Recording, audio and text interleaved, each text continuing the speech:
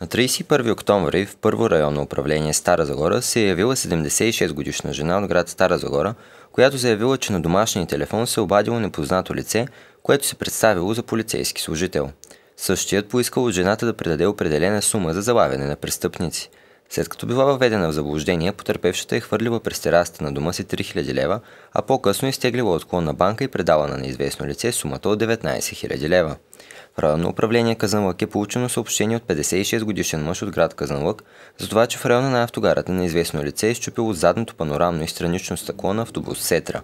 Нанесените щети са за около 3000 лева. Малко по-късно 55 годишен мъж сигнализира за това, че на паркинг, намирал се северно от Арсенал АД град Казанлък, са щупени стъклата на три паркирани автомобила. След посещение на място е установено, че неизвестен извършител е щупил задно дясно стъкло на лек автомобил Дачия, предно ляво странично стъкло на микробус Ford Transit и предно странично стъкло на лек автомобил Opel Astra. В трите случая са образувани досъдебни производства.